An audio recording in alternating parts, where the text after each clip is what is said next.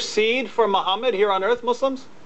We don't get to intercede for him at all. And he we believe he's, he's the one who's going to intercede for us. We don't intercede for him. We're asking Allah to increase his mention. We are praying we are praying to Allah to increase his mentioning in the company of the angel. We can't intercede for him. Yeah. We can we don't we can't Can I- do that. We don't have anything. Can I can You I address your uh, can I address Okay, your question? okay. I don't want him yeah, hang ahead, up. go ahead, go okay, we're t- I wish you had called earlier. Yeah. But please, brother, my brother in humanity, please call tomorrow night, Lord willing.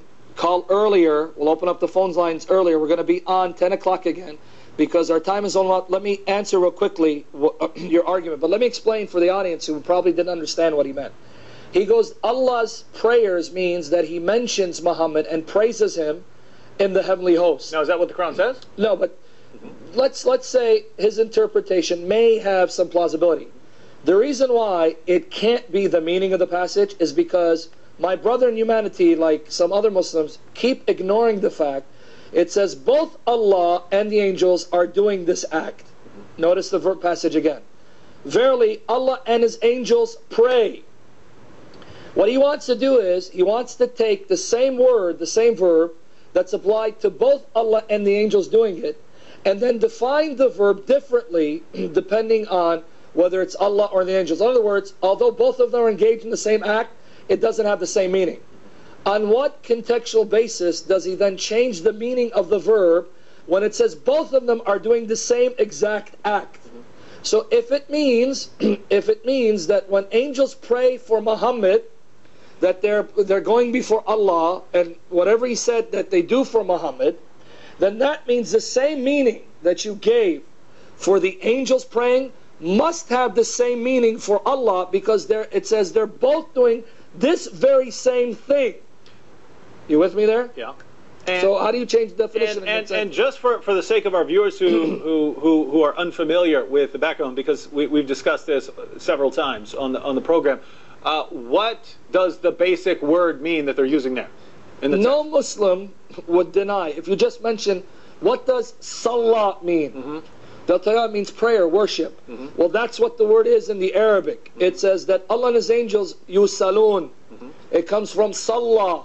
And then it says, you who believe, pray for him, sallu. So just ask a Muslim before you quote the verse. Say, Muslim, what does salah mean? Oh, it means worship. It's prayer, it's worship. What does salawat mean? Oh, prayer, worship. Then you say, it says that your God does salah and salawat. Oh, well, the meaning's totally different. The meaning of the word changed. Yeah. In other, in, in other words, my friend, here's the point.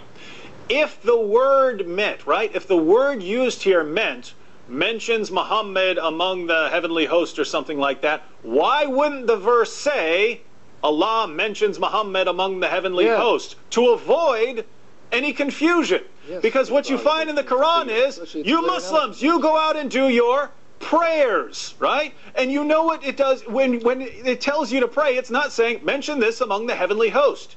You have your prayers, and then the problem is it turns right around and says, "Oh, Allah does this too." And with so the does angels. yeah. It uses the Arabic conjunction wa, which Muslims admit is the conjunction of partnership, meaning Allah and the angels together are doing this. Mm-hmm. So, if we want to, suppose we grant, suppose we grant to our friend that the word means one thing when it says Allah does it, and it means something different when the angels do it, and it means something different when when Yeah. human beings do it. It has all these different meanings when there are other words that could have clarified the situation. And so what you have in the Quran is total confusion. Precisely. The- we're using the same word and constantly changing the meaning so that people like us can come along and point out and say, what could this possibly mean? But it's a and Muslims can Arabic Quran. Yeah, it's supposed to be clear uh, now. that's, Exactly. that's what I was getting to. Your Quran, your book, claims over and over and over again, like a beating drum, to be clear. Clear, and your Allah can't even use one basic word as a, a word as important as prayer consistently. And has you know, to constantly uh, change the meaning. Real quickly, add to your point. They say the Arabic is a very rich uh, uh, and expressive language. Weren't there other words that Mm-hmm. Yeah, Allah could have come up with another word? It's like Allah. two- I don't know what. I don't know what word I'm going to use here. Oh, let me use the same word I use for people For bowing down in worship, prayer and then applying it to Allah. Secondly, even the definition he proffered, because this comes from Ibn Kathir and others, it says that Allah is praising Muhammad to the heavenly host. You understand that praise itself is an act of worship? You're telling me that Allah has nothing better to do but to praise a creature to all the angels in heaven, and you think that actually lessens the impact? What does the word Muhammad mean? That means praise. Exactly. Most, not just yes. praise one. Superlative. Abundant yes. praise. Yes. Go ahead. And what do Muslims say when they make salawat? Alhamdulillah. Assalamu alaikum ayyuhan nabi. Yeah, yes, uh, yes, exactly. And even when they say Alhamdulillah, it comes from the same root, meaning all praise be to Allah. No, you just said Allah praises Muhammad. So all praise isn't to Allah, it's also given to Muhammad in heaven. And you're addressing Muhammad directly Yes. in the salat. Assalamu alayka, ayyuha nabi. Uh, Farhan, are you still there? Yeah, I'm still here.